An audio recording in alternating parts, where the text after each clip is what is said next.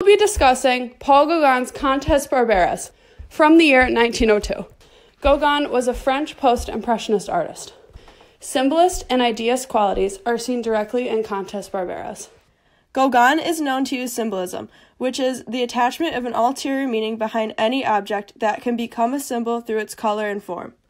This is used in his painting The Yellow Christ, where he pictures the Breton people to promote the economy of where they are from as a popular tourist attraction rather than giving the painting a religious affiliation.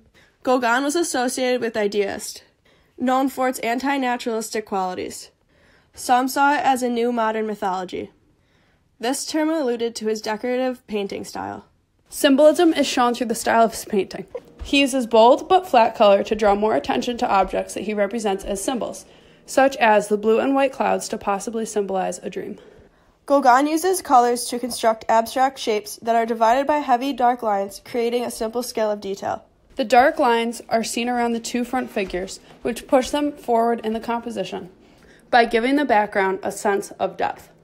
Since he does not use heavy detail, he puts emphasis on the texture of his brush from the paint. This is prominently seen in the skin tone of the two center figures, along with the draped clothing of the western figure. This texture matches that of the organic landscape surrounding them. Gauguin's blocking of color is similar to the style of stained glass. This shows his formal influences from medieval art. This style can also allude to trying to decipher if his work is religious or spiritual. The colors in the background of this work also have a dreamlike effect to them, such as the blue and white mystic clouds and the pink flowers. This point leads into a strong use of vibrant color throughout the rest of the painting, such as the orange color of the figure's hair and shadows of black around the female figure. Even though blue is not generally associated with landscapes, it is possible that he uses it to symbolize spirituality, a theme seen in a past work we have discussed in our class. An example is from the German expressionist group Der Blaue Reiter, and also then Henri Matisse's painting New Blue Souvenir of Biskra. In both of these examples, the color blue is meant to signify something other than just a visual element. Matisse uses an indigo blue to represent a Venus like reclining nude. This color is related to the region that the painting derives from in Africa. This concept traces back to primitivism. On the other hand, Der Blaue Reiter uses the color solely for its purpose to symbolize spirituality. Gauguin's painting brings in both concepts of the use of blue to represent his division of spirituality and religion, as well as his use of primitivism to construct the figures placed within the blue scene. Aside from his painting style, he is a synthetist. He expresses ideas in a way that is understandable by the viewer, but does not allude to what the true meaning of what they believe it to be. In other words, a blending of the subjective and the objective.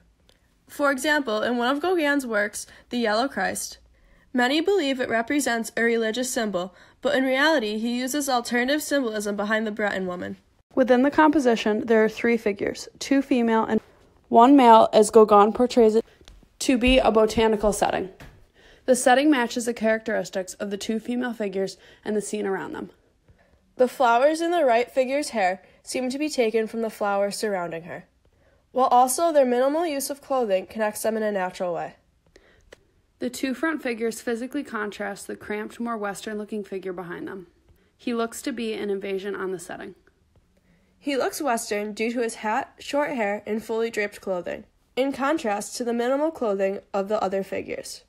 He seems to be cramped since he is balancing on his feet, making it so you cannot see his full body. Besides the layout of the composition, the formal qualities are what make the painting unique in style. The bright color, which is a characteristic of symbolism, gives this painting a sense of depth. There is a question of Gauguin's work being religious or spiritual. Stephen Eisenman stated that his work is about spirituality and not religion. This is because there are time periods meshed together in Gauguin's work. His works are about a deep investment of faith, not about the history behind it. You can see the spirituality conveyed in Contes Barbares. What you might think you see in this painting is the Adam and Eve narrative. The indications of this would be the fruit at the feet of the female figures, also the serpent like eyes of the male figure. Even though you can see the similarities, the painting is clearly not the true image of the classic Adam and Eve. It just embodies the narrative. It also embodies primitivism, which is a central theme of Western modernization that alludes to the notion that uncivilized peoples and cultures were more pure and free than the Western ones. The Adam and Eve narrative represents primitive themes through its non Western imagery.